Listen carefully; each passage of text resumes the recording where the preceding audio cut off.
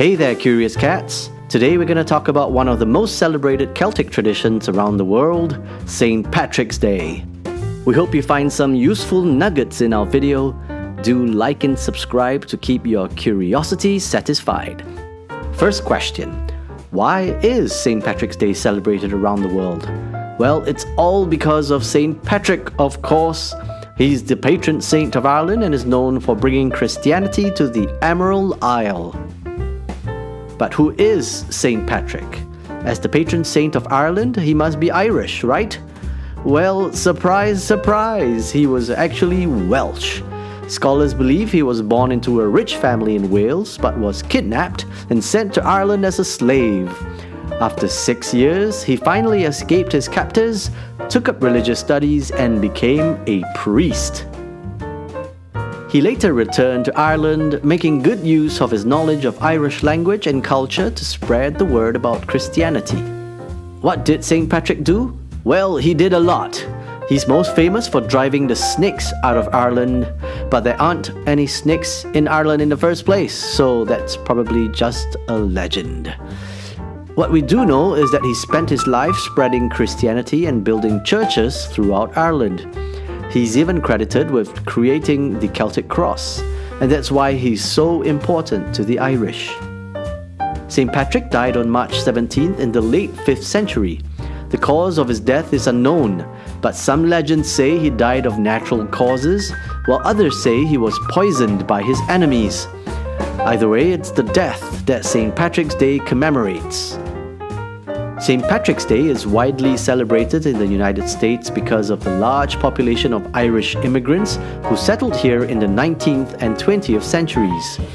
They brought with them their traditions and customs, including the celebration of St. Patrick's Day, turning the religious holiday into a largely secular occasion that celebrates Irish culture.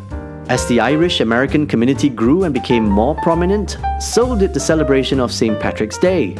Today it's one of the most widely celebrated holidays in the US with parades, parties, and cultural events taking place across the country.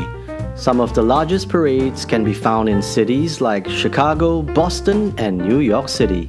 Around the world, it is celebrated in as far flung countries as New Zealand, Japan, and Singapore. Now, you may be wondering why does everyone wear green on St. Patrick's Day? Is it because St. Patrick himself loved the color green? Nope. It's a reminder of Irish nationalism. The green on the left third of the Irish flag symbolizes republicanism. It also helps that Ireland is known as the Emerald Isle. There's a legend that says if you don't wear green on St. Patrick's Day, you'll get pinched by a leprechaun.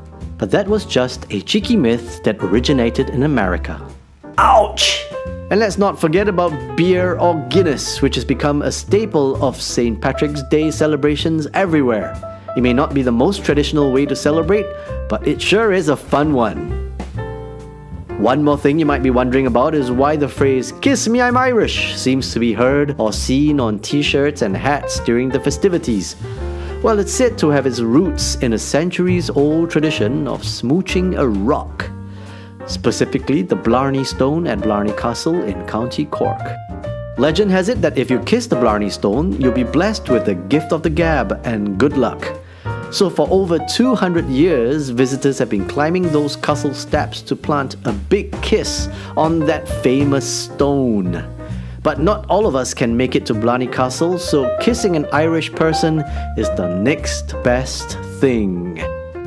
So, there you have it, curious cats. St. Patrick's Day is all about celebrating the life and legacy of St. Patrick, Irish culture, enjoying some tasty beverages with friends, avoiding pinching leprechauns, and giving strangers a kiss.